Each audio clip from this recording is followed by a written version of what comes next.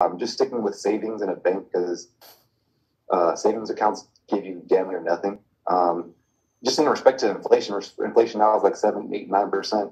Savings account gives you at the most like half a percent. Holy so you're, so you're, yeah, so you're losing money every year. It's just sitting in there. Um, yeah, you're just losing money that way. It's kind of kind of sucks. Because what is the bank doing with the money? Oh, so that's the funny thing is the bank is out there either one lending your money. Um, they have this thing called tier one assets where they keep it in another safe spot from with um, these big financial institutions who's giving them a payout back. So they're investing your money and then lending your money too.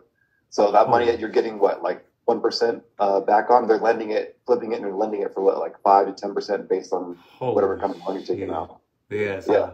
Like you said, it's just the American sucker compared to how banks are using your money, and you and this oh, is yeah. what and this is what they should be doing with their money. They should be leveraging. And that's where you come in, where you help them leverage their money instead of their money being leveraged by somebody else. Right, right, right. Yeah, pretty much we emphasize like being your own bank down here. You know what I mean? Man. Instead of having to go through the middleman, you know what they're doing. You might as well do the same thing with your money. Um, yeah, and have that liability. Which is an amazing thing in which what you guys are doing. Like you said, it's happening to them already and they don't even know it.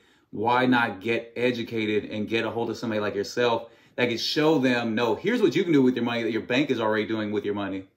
Right, exactly. And trust me, it's, it's all it's all on the internet too. So people oh, don't yeah. have to take my word for it.